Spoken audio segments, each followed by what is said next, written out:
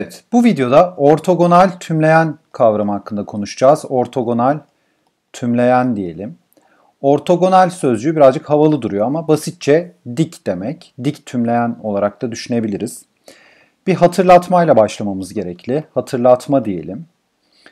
Vektörlerde vektörlerde nokta çarpımı ya da skalar çarpım dediğimiz işlemi hatırlıyor olacağız. Skalar çarpım. Tabi bunu bu işlemin nereden geldiğini merak ediyorsak Kalkülüs 3 listesinin 8. videosuna bakabiliriz. Detaylı olarak anlatmıştık. Şimdi ne işe yaradığı üzerinde duracağız ve nasıl yapıldığını bir hatırlayacağız. Mesela bir A vektörü olsun, bileşenleri A1 ve A2 olan, bir de B vektörü olsun, bileşenleri B1 ve B2 olan. A nokta çarpım B ile kastettiğimiz şey bu şekilde gösteriliyor nokta. A1 çarpı B1 artı A2 çarpı B2'dir. Bileşenlerini çarp birbirleriyle topla. Tabi bu bir sayı veriyor. 3, 5, 7, 9, 10 neyse böyle bir sayı veriyor. Ve bu aynı zamanda şöyle gösterelim. Aynı zamanda A vektörünün büyüklüğü çarpı B vektörünün büyüklüğü çarpı aralarındaki açının kosinüsüne eşit olmuş oluyor.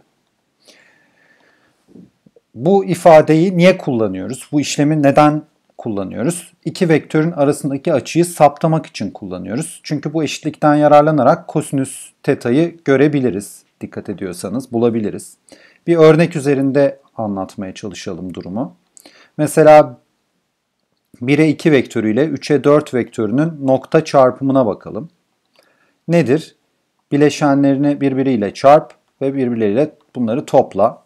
11 olacaktır değil mi? Neye eşit olacaktır bu aynı zamanda? A vektörünün büyüklüğü ya da 1'e 2 vektörünün büyüklüğü. Bir vektörün büyüklüğünü nasıl buluyorduk? Bileşenlerin karelerinin toplamının kökü. Buradaki 3'e 4 vektörünün büyüklüğü ne olacaktır? 3'ün karesi artı 4'ün karesinin kökü. Çarpı aralarındaki açının kosinüsü. İşte bu eşitlikten yararlanarak kosinüs teta'yı çekebiliriz. Ne olacaktır? 11 eşittir Burası 5 kök 5. 5 kök 5 kosinüs teta olacaktır. Ve kosinüs teta'nın buradan 11 bölü 5 kök 5'e eşit olması gerektiğini görüyoruz. Ve bu da teta yaklaşık olarak diyelim yaklaşık olarak 10.3 derecedir demektir. Tabi e, biz konumuzda yani ortogonal tümleyen konusunda sıklıkla bu işlemden gelen bir özelliği kullanıyor olacağız. Diyelim ki iki vektör birbirine dikse A ve B vektörleri birbirine dik olsun. Bu durumda nokta çarpımları sıfıra eşittir diyeceğiz. Bu önemli bir özellik. Neden sıfır eşit? Çünkü buradaki kosinüs teta kosinüs 90 derece sıfır eşit olduğu için sıfır olacaktır. Dolayısıyla bu çarpımı sıfır yapacaktır. Dolayısıyla işlemin sonucunu sıfır yapar. İki vektör birbirine dikse nokta çarpımları sıfır eşittir ya da nokta çarpımları sıfıra eşit olan iki vektör birbirine diktir. Bunu iki yönlü de düşünebilmemiz gerekecek. Ortogonal tümleyen konusunu anlatırken ya da düşünürken. Hatırlatmamız bu kadar olsun. Ha, son olarak şunu söyleyelim. Nokta çarpım tabi ikiden fazla boyuttaki vektörler için de aynı şekilde yapılabilir. Bileşenlerini çarpacağız ve birbirleriyle toplayacağız. 3 tane olsa burada 3 tane çarpım ve toplam işlemi olacaktı. Yine aynı şekilde büyüklükleri ve aralarındaki açının kosinüslerinin çarpımına eşittir vesaire. Her, bütün her şey olduğu gibi geçerli. 3 e, boyuttaki mesela bir vektörün büyüklüğünü bulurken de yine bileşenlerinin karelerini topluyoruz. Bu sefer burada 3 tane rakam olacak ve yine kökünü buluyoruz. Aynı şekilde bütün her şey burada anlattığımız e, daha 2'den fazla boyuttaki vektörler için de geçerlidir diyelim. Ve konumuza şimdi girebiliriz. Ortogonal tümleyen nedir? Onu söyleyelim. Mesela R üzeri N'nin diyelim bir alt uzayı olan alt uzayı olan bir V kümesi bir V kümesi düşünelim. Tabii bir V uzayı da diyebiliriz. Sonuçta alt uzay değil mi? Bir V kümesi düşünelim. Bu V kümesinin e, ortogonal düş, düşelim yazmışım değil mi? Düşünelim. Bu V kümesinin ortogonal tümleyeni dediğimiz zaman neyi kastediyor olacağız? Bunu şu şekilde göstereceğiz. Bu V kümesinin ortogonal tümleyeni olarak adlandırılacak. V kümesinin ortogonal tümleyeni. Ve bu kümenin anlamı şu. V kümesinin bütün elemanlarının dik olduğu vektörlerin kümesidir.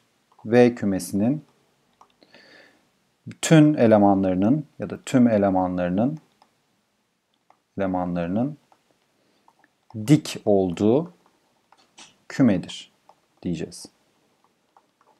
Bunu şöyle düşünebiliriz. V'nin ortogonal tümleyenindeki bu bir kümedir. Bu kümedeki bir elemanı seçersek, herhangi bir elemanı, bir de V kümesinden bir eleman seçersek bu ikisi birbirine kesinlikle dik olmak zorundadır. Ortogonal tümleyen şartı bu. Bunu matematiksel olarak da şöyle gösterebiliyoruz. Ortogonal tümleyen V eşittir. X eleman, X vektörü eleman R üzeri N olmak üzere N boyutlu bir vektör olsun. X nokta çarpım V eşittir 0 olacak. Her V vektörü eleman V uzayı için. Evet. Böyle gösterebiliriz. Yukarıda söylediğimiz şeyle aynı şeyi ifade eder e, ortogonal tümleyen V'deki herhangi bir x elemanıyla V kümesini V uzayındaki herhangi bir V elemanını çarptığımız zaman nokta çarpımlarının sıfır eşit olması gerekiyor. Çünkü nokta çarpımlarının sıfır eşit olması demek ne demektir? İki vektörün birbirine dik olması demektir. Bunu biliyoruz artık. Şimdi e, bu şekilde düşünebiliriz. Tabi e, mesela ortogonalliği kümelerin birbirine dikliği gibi düşünebiliyoruz gördüğümüz gibi. Mesela ne diyelim? Bu V kümesi ise ya da V uzayıysa bu da bu uzayın ortogonal tümleyeni ise ne diyeceğiz? Burada seçtiğimiz herhangi bir eleman, burada seçtiğimiz herhangi bir elemana diktir. Anlamı bu. Şimdi ortogonal tümleyeni nasıl hesaplarız? Buna bir bakalım. Burada daha çok kafamıza oturacak diye düşünüyorum uygulamasını görünce. Ee, mesela V kümesi ya da V uzayı da diyebiliriz. 1'e 2 vektörünün germe kümesi olsun. Bu durumda bu V'nin ortogonal tümleyeni nedir? Bunu bulmaya çalışalım. Germe kümesi ne demekti? Germe kümesi bu vektörün bu vektörün lineer kombinasyonlarıyla yazılan bütün vektörlerin kümesiydi değil mi? Bu 1'e 2 vektörünün de lineer kombinasyonları demekle kastımız bu vektörün herhangi bir sabit sayıyla çarpımı demektir. Yani sabit değil de skaler sayıyla çarpım demektir. Bunun değişen değerlerine karşılık elde edebileceğimiz tüm vektörlerin kümesiydi germe kümesi. Ve bu durumda bu kümedeki herhangi bir elemanı c'yi de çarparak yazarsak c'ye 2c olarak ifade edebiliyoruz. Ve mesela bunun ortogonal tümleyeni, bu kümenin ortogonal tümleyeni elemanlarına da x1, x2 ile gösterilir diyelim. x vektörünü de böyle gösterelim bileşenlerini. Bu durumda bu ikisinin çarpımı neye eşit olacaktır? Nokta çarpımı sıfıra eşit olacaktır öyle değil mi? Ne demektir bu? x1 çarpı c artı x2 çarpı 2c 2c diyelim eşittir 0 olmak zorundadır. Biliyoruz ki dikliğin şartı bu. İki vektörün birbirine dik olmasının şartı. Buradan e, neyi bulabiliriz? C'leri götürürsek eğer x1 artı 2x2'nin sıfıra eşit olacağını söyleyebiliriz. Bu da ne demektir? x1 eşittir eksi 2x2 demektir. O halde bu sonucu parametrik olarak ifade edersek bu v'nin ortogonal tümleyeni olan her vektör şu görünümde olmak zorundadır. x vektörü eşittir. x1, x2. Bu da eşittir. x1 yerine eksi 2, x2 yazarsak, x2 yerine x2 yazarsak ve x2'yi dışarı alırsak eksi 2'ye 1 olacaktır. Dolayısıyla v'nin e, ortogonal tümleyenini şu şekilde ifade edebiliriz. Bu, bu ifade ne demektir? Eksi 2'ye 1 vektörünün germe kümesi demektir değil mi? O halde V'nin ortogonal tümleyeni olan kümede span ne diyelim? Eksi 2'ye 1 vektörüdür diyebiliriz. Bunun germe kümesidir. Bu şekilde ortogonal tümleyeni bulmuş oluyoruz. Ee, burada son olarak şunu da göstermek istiyorum. V kümesi, V gibi bir küme, R üzeri N'de bir alt uzaysa, N'de alt uzaysa V ortogonal tümleyen V'nin de alt uzay olduğunu kanıtlayalım burada. Bu da alt uzaydır diyelim. Nasıl kanıtlıyorduk? Tabii ki alt uzay olma şartlarını yazıyorduk değil mi? Toplama işlemine kapalı olacak. Yani A, B vektörleri eleman ortogonal tümleyen V için A artı B de eleman ortogonal tümleyen V olmak zorunda. Bakalım öyle mi? Ee, şöyle diyeceğiz. Eğer ki bu iki vektör V'nin ortogonal tümleyeninin bir elemanıysa bu şu demektir.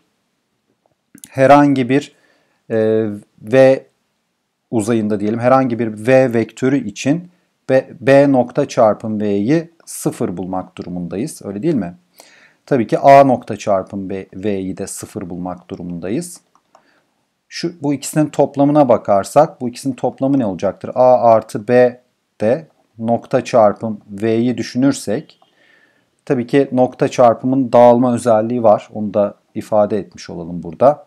Ne olacaktır? Bu da A nokta çarpım V artı B nokta çarpım V'ye eşit olacaktır. Ve bu sıfırsa bu da sıfırsa zaten bu ifadede sıfıra eşit olmak zorundadır. O halde A artı B de ortogonal tümleyenin bir elemanı olmak zorundadır diyeceğiz.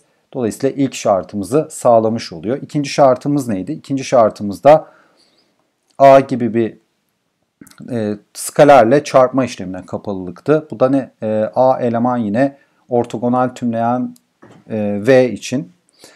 Ne diyeceğiz? Biliyoruz ki A nokta çarpım V. Tabii ki V burada V vektörü V uzayının alt uzayının bir elemanı nokta çarpım V sıfıra eşit olacaktır. C nokta çarpım A, e, C çarpı A'ya bakarsak C çarpı A nokta çarpım V'de ne olacaktır? Yine e, burada yine parantezi kaydırabiliyoruz. C bu şekilde yazılabilir.